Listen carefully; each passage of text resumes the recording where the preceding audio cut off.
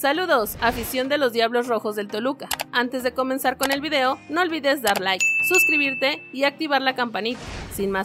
Querétaro recibe negativa para el regreso de la afición frente al Toluca. La directiva de los Gallos del Querétaro dentro de la Liga MX habría recibido la negativa de los directivos del fútbol mexicano para permitirles jugar frente al Mazatlán FC y el Deportivo Toluca con aficionados, previo a que termine el veto de su estadio en este torneo clausura 2023. El estadio La Corregidora de los Gallos Blancos comandados por el director técnico uruguayo Mauro Berg se encuentra suspendido después de los hechos lamentables que se vivieron en el partido frente al Atlas del pasado clausura 2022, sufriendo un castigo de un año sin poder contar con aficionados. De acuerdo a información del periodista deportivo David Medrano de la cadena TV Azteca, la propuesta lanzada por la directiva y el gobierno de Querétaro a la Liga MX para poder contar con aficionados en busca de ir definiendo la forma de operar el regreso de la afición al estadio. El castigo de un año de suspensión al ingreso de la afición para el equipo de los Gallos del Querétaro finaliza hasta el próximo 5 de marzo, por lo que sus partidos previos a esa fecha se seguirán disputando a puerta cerrada como se estipuló desde los hechos de violencia frente al Atlas. Por otro lado, Eric Sánchez reconoce que es un duro reto ante el Toluca, ya que buscarán venganza. La sed de revancha con la que seguramente se presentará este domingo el Toluca complicaría aún más al Pachuca, reconoció Eric Sánchez. A tres meses y medio de haberse topado en la final de la Apertura 2022, el chiquito reiteró, los Diablos Rojos siempre serán un parámetro en la Liga MX, sin embargo, afirmó que los Tuzos saldrán mentalizados para mantener la imbatibilidad en el Estadio Hidalgo, donde acumulan 11 duelos sin derrota. Nosotros sabemos que es un partido bastante difícil, estamos en casa y tenemos que hacer que se respete nuestra casa. Vamos a hacer lo nuestro y buscar que los tres puntos se queden en casa, expresó en una entrevista al club. Eric Sánchez también encarará este encuentro ante Toluca, con la motivación de haber marcado su primer gol en el clausura 2023 el pasado jueves ante el Mazatlán FC. Muy emocionado por aportar algo al equipo, es importante para mí. Creo que tengo que seguir trabajando en aspectos que hoy se notaron, expresó el mediocampista. En el mismo tenor, abundó que haber logrado su primera victoria en el Kraken es otro aliciente grupal para mantenerse en la lucha por el liderato del campeonato. Toluca y Pachuca se verán las caras de nuevo este domingo, luego de disputar la final del torneo pasado en el que el conjunto de los Tuzos se proclamó campeón, en lo que se espera sea un gran duelo en el que los Diablos buscarán salir airosos de su visita al Estadio Hidalgo, con la intención de mejorar su posición en la clasificación general. Por supuesto, el antecedente más próximo de enfrentamientos entre estos dos equipos se remonta a la más reciente final, en el Apertura